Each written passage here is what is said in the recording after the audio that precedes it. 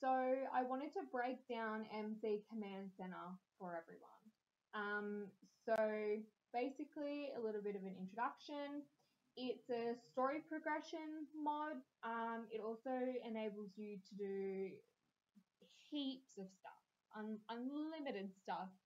Um, it's really good. I really recommend it. Um, you're able to manipulate so much more in the game, but you're also able to manipulate it to what you want as well. Um, so yes, it's a mod um, that has certain things already set in, but they have made it so that we as players are allowed to change it to suit us as well, which I think is a really nice touch. So basically, if you want to get into the MC command settings, um, you need a computer of some sort. So basically, you click on the computer, it will come up with a list. You have MC Command Center right there. It'll pop up with this main image here, um, and that's your starting base for MC Command Center. So I'm going to go through MCC settings first. Um, I will do individual videos and break down each of these folders. Um, I feel like that's a better way to do it, um, especially if you're specifically looking for, say, something in MC Career or uh, MC population. You don't have to sit through a really, really long video um, and try and pinpoint where it is. You can just go back to my YouTube channel and click on which one you want. Right, so we'll go through the settings first. So this top one. Alright, so we have autosave, relationship settings, notification console menu settings, money settings, gameplay settings, set age span duration. So in your autosave, um, you can use autosave. Um, you've got all these options here. So you can play around with absolutely any of the settings, any of them. You can change them to suit you as you need. It's it's relatively simple. Um, and you want to go back, you just go back. We'll have a look at relationship settings. So you've got your friendship decay percentage and obviously your romantic decay percentage. Um, so the default value for the friendship decay percentage is 100. Um, your minimum value is 0 and your maximum value is 200. So 0 being no decay at all um, and 200 obviously being a faster decay than normal. So if you want to keep friends, um, but you really don't like putting in that much effort to try and keep your Sims friends, um, super easy, just change it to zero and you won't have an issue. Or if you want a bit more of a challenge, you set it to 200. Again, like I said, it's totally up to you, which is why it's such a fantastic mod, um, being able to manipulate it to exactly how you want it. So basically, you just get rid of it, type in the setting that you want, oops, click OK, or set it back to default if you want to go through your default settings. The same for romantic decay percentage. Um, we'll have a look at relationship culling. So you can bypass your relationship culling. Currently it's set at EA relationship culling, which is the default value for the setting um, or you can have MC cleaner relationship culling. Um, so it follows EA's rules and deletes relationships accordingly. Um, so obviously, if you want to bypass, you bypass. Um, we'll just leave that. But yeah, basically, so you can have a play around with that. Allow teen parenting. Um, this is a cool one. So if you have allowed teen pregnancy um, and you have the parenting um, then you can allow teen parenting. Mine's currently disabled. I actually don't have that pack. Um, so that doesn't really affect me. Um, but yeah, so you can enable that or disable it. It's totally up to you. And flag to never break up. So if the value is greater than zero, then NPC relationships of Sims in a married or boyfriend slash girlfriend engaged status will be evaluated to, to determine if there is a chance they will break up. Zero is no chance, 100 is a very good chance. So if you want to make it a little bit more realistic, like mine's obviously set at zero at the moment. Um, but if you want to make it a little bit more realistic, then obviously have a play around with those settings. Um, especially with households that you're not playing. Like I know I jump from household to household. I very rarely will stick with the one household. Um, so that would be really cool to have a play around with. Um, I feel like if you change that up a bit, it would be more realistic um, to the real world. So if we go back, we can go into the notification console menu settings. So this is basically where you'll find all your notification stuff. Um, so if you want to change any notifications at all, you just come into this screen here. Um, so if we have a look, you've got message logging, um, append to log file, show notifications, so show age up notifications and etc. If you don't want any of those enabled, just go in there and you can change. So NPC only, your played only, related to active household. There's heaps of options that you can go through. Um, they're they're usually all the same, depending on where you're going. Um, phone texts, so you can get all text, which is what I'm set up at. I know some people really hate the text messages, which is totally fine. It's totally valid. I can understand why people get annoyed. Um, so basically, just click no text. Um, you can just have festival texts. So if you do have um, city living, you will just get texts in regards to festivals that are occurring. Um, I like having all texts, so that's why it's set at that. Right, let's have a look at money settings. This is a really cool one. So this is where you'll find your child support and how to turn on auto bills, etc. Um, so if you go into child support, I've got mine set at all. Um, you can either have married only, unmarried only, or none. None is the default setting. Um, I like the idea of child support. Um, again, I think it brings in a more realistic aspect into the game, which is really cool. You can change the percentage of how much gets paid in this one here, child support percent. Um, so I have it set at 100. The minimum value is 1, and that is also the default value, and the maximum value is 1000.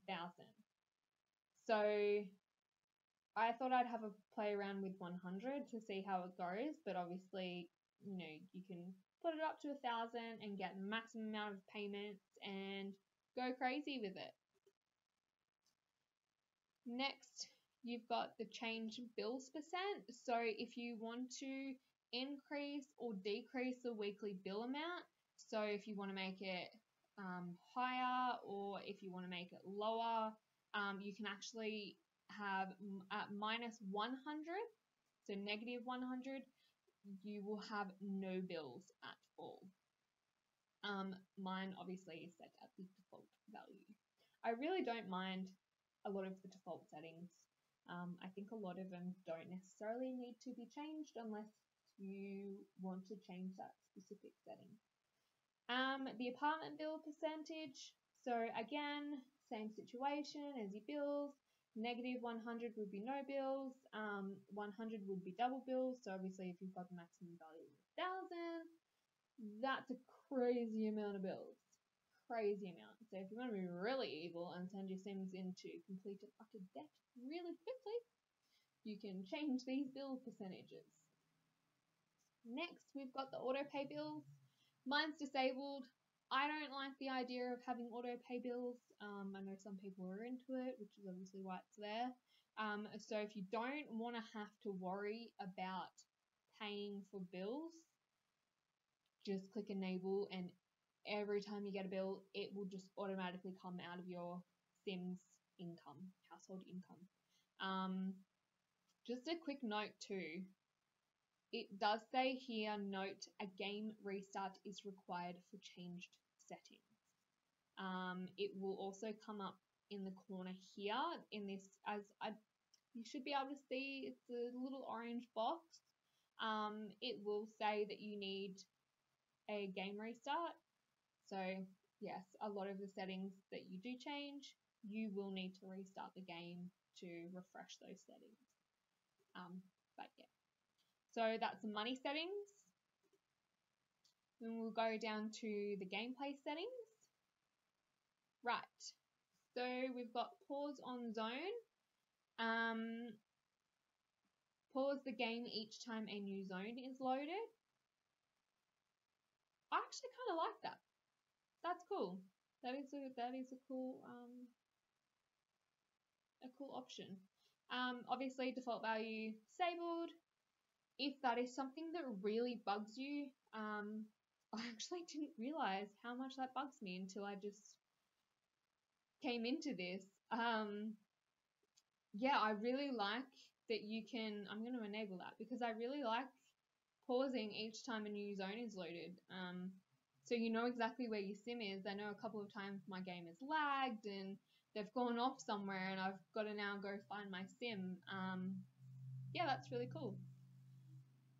Put away books fix. Um, again, mine's enabled. I really hate it when um, they don't put their books away. It drives me nuts. Um, that is a default setting anyway. Um, but yeah, so you can disable that if you want to. I I I don't know why you would want to. Um, but yeah. So game time speed. Um, so it's basically the number of real time milliseconds for every sim second. The default is 25. Um, less than that, so less than 25 makes days go faster. So one would be your app like absolute fastest. Um, and if you go to the maximum value of a thousand, it makes your days go a lot slower. So mine's set at 25 at the moment, which is the default value. Um, I actually wouldn't mind making my day go slower. I find at the moment, um, I don't know if anybody else is having this issue, but just a simple task of even eating is taking like two sim hours, which is crazy. Um, and I just feel like I'm just constantly caring for them because it takes so long for them to do a simple action, and then I can't really like get that in depth with the game then. Um, so yeah, that that would be a really cool one to play around with. Sims die on lot? Um, so if enabled when sims are killed with the kill sim command, yes, there is a kill sim command with MC Command Center. Very cool. Um, the Reaper will only show up if they are on the lot. Um, so if they're wandering the streets, they'll just turn into ghosts. Um, so if you disable that, then yeah. Um, skill difficulty adjustment this is really um, this is a really interesting one. So if you want a sim to develop a skill quicker, um, the more positive the value with a maximum of 10 obviously, um, the faster they will develop the skill. Um, and obviously vice versa for the negative value, it'll make it slower. So if you want more of a challenge, go negative. If you just want them to hurry up and skill up um, without using the skill up cheat of just automatically skilling them up. Um, yeah, you can do it with that setting there. Um, adopt a neglected child. So I bet this has happened to everyone where they've neglected a child and they've been taken away. Well, this enables you, if you have it enabled, um, to adopt a child that's been neglected by an NPC household um, rather than it being taken away by social services. I really like that, so again, I'll enable that one. Um, maximum household size. So the default value is 8. Um, I do want to warn, be careful when going over 8. Um, people have had issues with CAS not functioning correctly. Um, I know a couple of people have had issues not being able to actually edit some members of the family in CAS. So if you do want to do that, just be mindful. Um, mine set at 8. I don't generally have big households, but I think that that would actually be really cool to do 25. Um, I might even make a video of that because I think that that would be really fun and interesting to see if I could actually survive with 25 household members. Might even throw some pets in there too. That could be interesting. And we have motive decay. So basically, you've got your dog, cat, sim, and baby motive decay percent. So go in and obviously change the settings. Mine are all at 100. Um, but basically, if you go zero, that means no motives decay. So if you want the perfect baby, definitely go zero. Definitely. Um, and obviously, if you go to the maximum value of 200, that would mean double motive decay. So if you want a real challenge, not too sure I'd be that keen on that. Um, but yeah, if you put it to a maximum of 200, that that could be quite a challenge. Um, so yeah, and then obviously you've got your dog. It's the same setup for each one that you click on. I'm just going and change it. Right. Lastly, in the MCCC settings, such a mouthful, um, we have the set age span duration. So you've got human, cat, and dog, and basically it brings up the list um, of each of the different ages.